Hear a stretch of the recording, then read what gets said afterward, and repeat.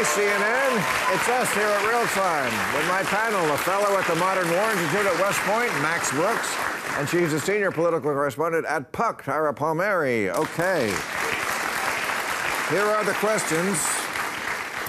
Any predictions for the Oscars on Sunday? Ooh, I'm not the person to ask. What are you looking at me for? I ain't there. I don't have a movie. I mean, I know. Wait, wait, wait. I know. you've- Bradley Cooper will win something because he seems so desperate for an Oscar. right? Yes. Well, I, I can tell you. I mean, my personal favorite as as a novelist is American Fiction. That's I, great. I think yeah. it's amazing. Everybody, it's amazing. So, go guys. Okay. Uh, what do you think of, uh, this is for you, but everybody can answer. What do you think of Trump meeting with Viktor Orban? He is the uh, dictator, is that too strong a word, of Hungary? I mean, he's an Yeah. authoritarian Yeah, he's as close as it gets in the Western Yeah. world. I mean, Um, he was elected, but so was Hitler. Right. Um, and he seems to be elected over and over and over again. Yes. Um, but uh, I think actually most Americans know nothing about Viktor Orban, so it probably has no impact on his electability.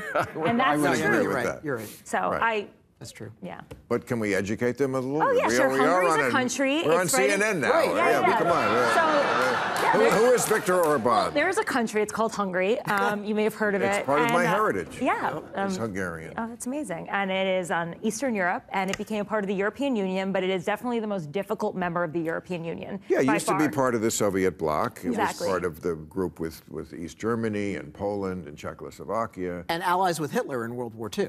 Uh, yeah, well, many were. Right. And they were Uh. they were one of the countries that basically were like, "Don't worry, Hungarian Jews. We're not going Right. to turn you over. We're not going to turn you over. You're not going to turn." Yeah, we are. And then by the very end, bam, all Right. at once. Yeah. Right, and they have a very strong anti-immigration stance, especially with the migrants that are coming through Yeah. Europe. Um, they have been the most resistant to taking any migrants that have come through actually the borders of Eastern Europe as they came through Syria, um, and. Yeah, I, it's a it's an interesting thing to see this country like try to be have the benefits of the West, but also be resistant as well. You know who else didn't take any Syrian refugees? Saudi Arabia, hmm. where they might have fit in a little better. Right. I'm just saying. You know, it's. Yeah. I know. I get it. Fair enough. Yeah. yeah. Okay. Um, do you think a two-state solution for Israel and Palestine is possible? Yeah, we got uh, 80 seconds. Let's. Yeah. 100 percent. And and this is what so many people don't understand about. You do? Biden. You think it's? I think it's 100 percent possible. Biden's the guy to do it because he's established his bona fides. These things do not happen overnight, and the first step of making peace is establishing your cred. There's an old saying. Uh, it's either U.S. diplomatic Corps or Star Trek Six. Uh, only Nixon could go to China, right? Yeah, he was yeah. the only guy with the bona fides to do it. And Biden was so smart in Israel's darkest moment, right after October 7th, he came to Israel and said, I am your friend, I am your protector. So now he is in a position to say, as your friend and your protector, I can tell you the only long term solution for Israel is the creation of But you're, you're only talking about this from one side. You do realize that Hamas does not want a two-state solution. No, no. They want the whole thing, from the river to the sea. Right. But Hamas needs to be isolated, and we need to talk. The, the fourth player in this quartet is the Arab world, right? These are the, and the good news here is that the world has changed in 20 years, and it's not your father's Middle East anymore, right? This is not dictators in, wa- the in 60s. some ways. In some ways, but it's not like In in some the ways, it is. yeah, but now there is a new coming war with Iran. And there are real. Yes. This this is huge, and the the Gulf A Arabs. war between Israel and Iran no, or us between and the Iran? Iranians and the Gulf Arabs. That's the war. That's the big conflict. And the Gulf Arabs are scared to death. Yeah. Which is why they tried to do a peace treaty with Israel, forgetting the Palestinians, because Right. their attitude is we need. Well, and, and again, for those people who we imagine don't know this stuff, but they prob- I think they probably do because they're watching CNN. Yeah. Uh, the Iranians are Shiites, Right. and the Gulf Arabs, most of the, of the Arab world is is Sunni. Yeah. Okay, that's I think 85%. But the Shiites are very strong, and the Iranians have proxies in almost every country that is surrounding Israel. They have the Houthis, that's in Yemen, Yeah. that's to the south. They have they took over Iraq because we stupidly went and and, and undid the balance of power there. Syria, um, and Lebanon, Hezbollah. So that is a Shiite Iranian-led arc that goes all around Yes. the Middle East And yes, it is very frightening, and it, and that was causing Saudi Arabia and Israel to make peace with each other, because the friend of my friend is, or the Right. Yeah. friend of my enemy, or whatever that saying is. My, my cousin's cousin is my Yeah, friend. I and don't know, but, but you know what I'm trying to say. You know, uh, But we're in a better position than we've ever been in between alternate energy tech and alternate energy business practices and Right. infrastructure.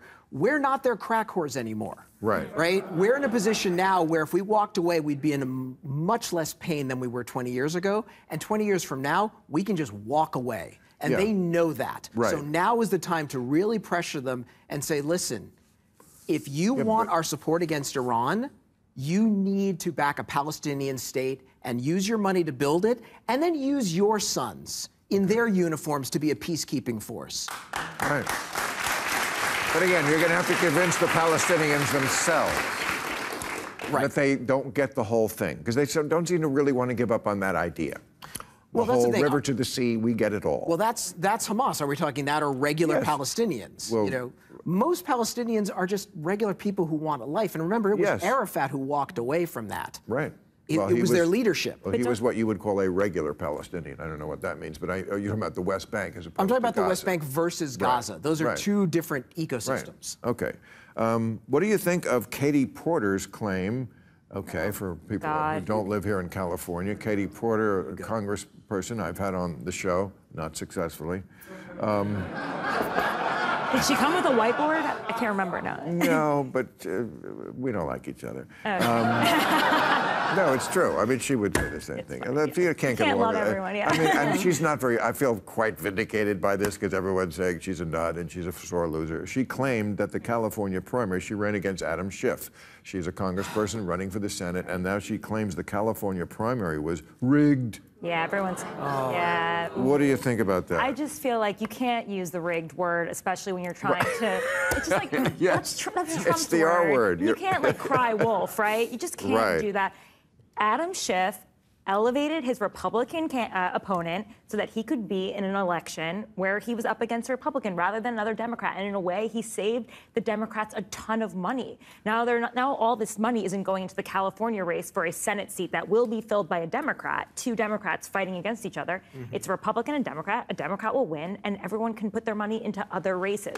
And it just you lost. It's politics. It's dirty. People do this kind of stuff. I mean, you it- know, like, it's get what over I, it. It's what I'm always saying to the Trump people. You think he's so macho and you're the big tough guys, but the most tough, the basic tough thing that a tough guy would do is Yeah. be able to say, I lost, Right. and not pout. Mm-hmm. And not be a whiny little bitch that. Uh, what do you think of George Santos attending the State of the Union? I was. oh well, you know, you get floor privileges for the rest of your life, so he might come every year. Is that right? Yes. Wait a second. And it will help his cameo in his future OnlyFans. he has to be famous. If he's not famous, then what is he? And Bill, I don't know if you saw the latest news. He plans to uh, primary the Republican who um, from New York who worked so hard to try to evict him from the House. But I will say, like privately, you're not going to believe this, but some Republican members say to me, "We shouldn't have got rid of George Santos until he was actually convicted because we needed that vote." Seriously. Oh, I'm sure. They say that all the time. They're Well- like, we just we shouldn't have done it. We've waited before for other people to be convicted, and that's what they're that's what they privately say. Well, isn't Menendez still a Yeah, Democratic still- senator? yeah, I mean, because they need the vote. Yeah, I mean, need this the is vote. this, this Yeah. is you know this is the guy who It's was stuffing. embarrassing, but Right, but when you need the vote, you know, hey, he was stuffing gold bricks in his pajamas. Well, you know, we're, we're not all perfect, you know. But wait, I'm very curious about this.